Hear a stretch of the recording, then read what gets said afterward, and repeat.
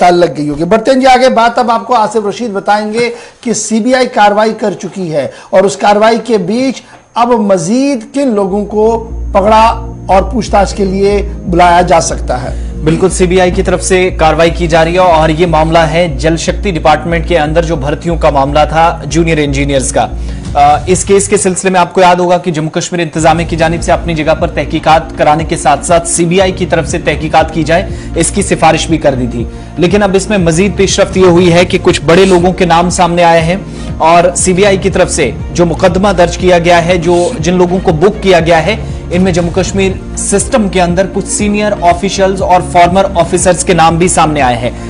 इस भर्ती घोटाले में जो अभी तक मुकदमा दर्ज किया गया है उसमें जो नाम सामने आए हैं कि जिन लोगों ने मुबैना तौर पर पेपर लीक करने में या कराने में किसी न किसी तरीके से मुआवनत की, उन लोगों की जिनने गड़बड़ी की, या अकाउंट्स असिस्टेंट सिलेक्शन स्कैम एक तरह से इसको कहा गया जूनियर इंजीनियर्स का जिनने पेपर दिया और इंतज़ार कर रहे थे कि आप शायद उनके नतज भी सामने आएँगे। अब जाकर सीबीआई की तरफ़ से जो नाम सामने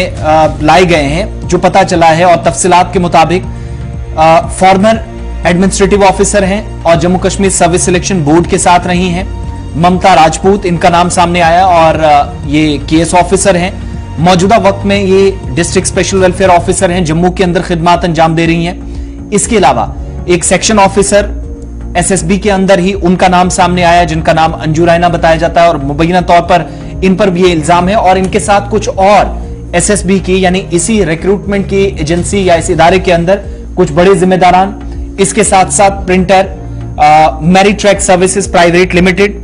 और बाकी वो लोग जिन्होंने फ़ायदा उठाया इस पूरे घोटाले के दरमियान, उन लोगों को अब बुक किया गया है, मुकदमा दर्ज हुआ है और इसमें इन लोगों के नाम सामने आए हैं और ये सीबीआई की तरफ़ से जो अभी तक तहकीकात की गई है, उसमें पिछले दिनों छापेमारी भी हुई थी, इन लोगों के नाम सामने आए हैं और मुबैना तौर ये इल्ज़ाम है कि इन सीनियर ऑफिशियल समेत, जिनमें एसएसबी के सबक एडमिनिस्ट्रेटिव ऑफिसर हैं एहलकार हैं यहाँ तक कि प्रिंटर का नाम सामने आया, सेक्शन ऑफिसर का नाम सामने आया विद इन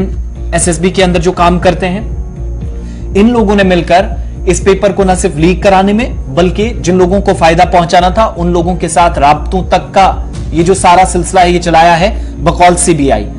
30 नवंबर को पिछले साल, यानी 2022 में आपको याद होगा कि सीबीआई की मुख्तलिफ़ टीमों की तरफ़ से जम्मू कश्मीर पुलिस के साथ और सीआरपीएफ के साथ मिलकर एक दर्जन से जायद ऐसे मकाम थे जम्मू के अंदर, सांबा के अंदर और जम्मू कश्मीर से बाहर भी छापेमारी की गई थी। इसी केस के सिलसिले में और जहाँ पर इतलात थी कि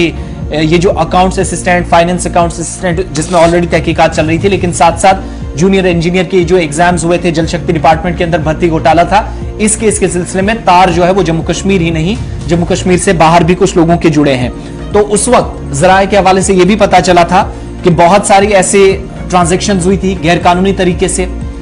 जिनका पता चला पंचायत अकाउंट असिस्टेंट एग्ज़ाम से लेकर जेई के इस भर्ती घोटाले तक। और अब जाकर जो इब्तदाई इंक्वायरी हुई है, तहकीकात अभी तक हुई है सीबीआई की तरफ़ से। अब ये जरा ये बता रहे हैं कि आने वाले एक दो हफ्तों के अंदर मजीद बड़े नाम सामने आ सकते हैं और बाकायदा जब चार्जशीट तैयार होगी तो इन लोगों के नाम हो सकता है टॉप ऑफ़ द लिस्ट हो। लेकिन अभी तक की इतलात के मुताबिक जो प्रिलिमिनरी इन्वेस्टिगेशन हुई है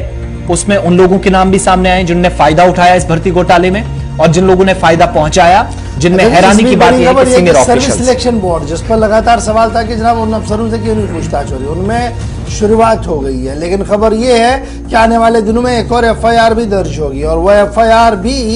मुलाजमत के हवाले से ही होगी क्योंकि जब ये पूरी इन्वेस्टिगेशन चल रही है इस वक्त तो खबर सीबीआई के हाथ एक और बड़ी भी लगी है जिसका वो खुलासा आने वाले चंद दिनों के अंदर अंदर